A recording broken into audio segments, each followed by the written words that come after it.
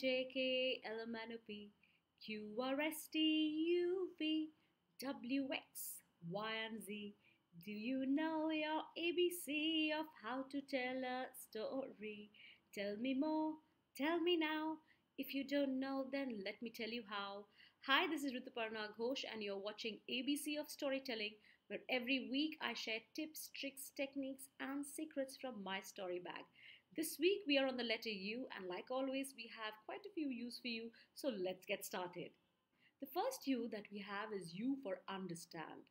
Well, when it comes to storytelling, understanding what your audience is understanding of your story is very, very critical.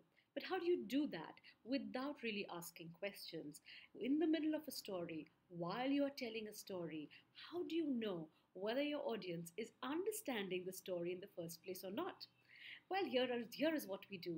Um, a lot of times I've been invited to schools to tell story in one particular language.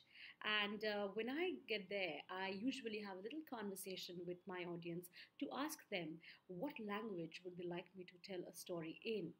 Um, so sometimes they tell me that they would like it in english or they would like it in hindi and sometimes they all they very well say that please make it bilingual um, that's a good way to know what your audience is expecting or what they're most comfortable in.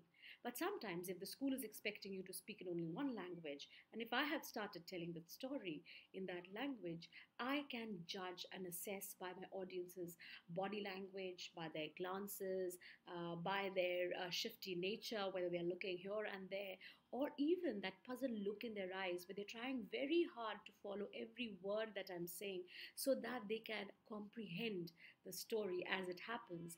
And sometimes that really gives it out. I know that they're working very hard to understand the story, to understand the language. And mind you, I use very simple language in my stories. I don't use a language which you need to open a dictionary for because storytelling is all about conversational language. So uh, even then, I, under, I sometimes see that in their faces when they really don't understand it. So I switch. I switch and I use two languages, or I choose uh, another language which I think they will understand better.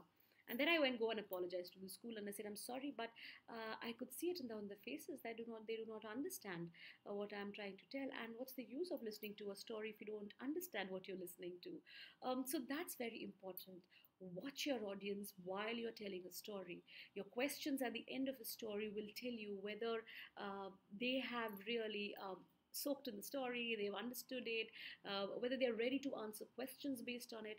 But sometimes, but that's too late. That's after the story is over while in the middle of a story, you can uh, always look at your audience very closely. And really, that's what storytelling is all about. When you're telling a story, you're not so wrapped or uh, engrossed in the whole exercise of telling that you do not really look at your listener, that you do not judge or assess your listener and their proactive behavior and whether they are listening to you at all or not. So, their understanding, the audience's understanding level is very, very important.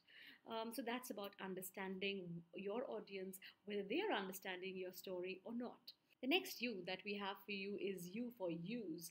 And uh, when it comes to use, uh, it's all about using aids. What aids are you using in your story to highlight your storytelling experience uh, for your audience? Uh, remember, a prop design, set design is a very integral part of storytelling, at least uh, when it comes to uh, storytelling for young children and even for the middle group. So, whether it's puppetry, are you going to use puppets to tell a story? And no, puppets are not just for the young ones, puppets are for all age groups and their uh, puppetry in itself is a is a huge field of storytelling so you may want to integrate oral as well as puppetry um, to uh, tell a story. Um, at the same time, you may want to use uh, different props. It could be props uh, which you pull out from your bag. Uh, it, they, they, could be related objects in your story, or these could be props which are uh, used on the different parts of your stage in your classroom where you can use them while your story is being told.